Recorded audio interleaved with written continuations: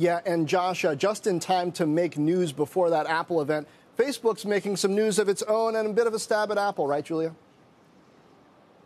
That's right. Well, Mark Zuckerberg just took aim at Apple's App Store fees. He just posted on Facebook, quote, to help more creators make a living on our platforms, we're going to keep paid online events, fan subscriptions, badges, and our upcoming independent news products free for creators until 2023. He went on to say that when they do introduce a revenue share, it will be less than the 30% that Apple and others take. Zuckerberg also posting that they're launching a new interface so creators can see how different companies' fees and taxes impact their earnings. We expect to learn more about that in an event Facebook and Instagram are hosting for their creators.